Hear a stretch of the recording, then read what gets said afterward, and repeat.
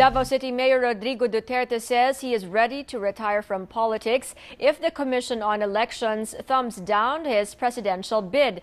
Duterte says this also goes for his own party, the PDP Laban, once it refuses to acknowledge his running mate, Senator Alan Peter Cayetano. I'm telling the community, do, do not worry about me. Just decide the matter legally. I'll just go into retirement na. The PDP Laban should accept. Tanggalin mo si Alan, eh, mag-withdraw na lang ako. Meantime, People's Champ Manny Pacquiao says he is not leaving UNA and will fully support Vice President Jejomar Binay in 2016. This amid talks he could also support Mayor Duterte in his presidential bid. Pacquiao and Duterte are known to be good friends.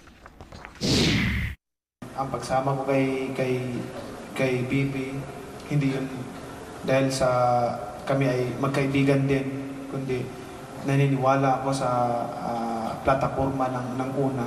Ang priority is yung yung mga taong ah, yung mga mahihirap na tao dahil kami nanggaling sa hirap. Isang karangalan po at ah, itong ito ang isang taong may isang salita no? At talagang kahanga-hanga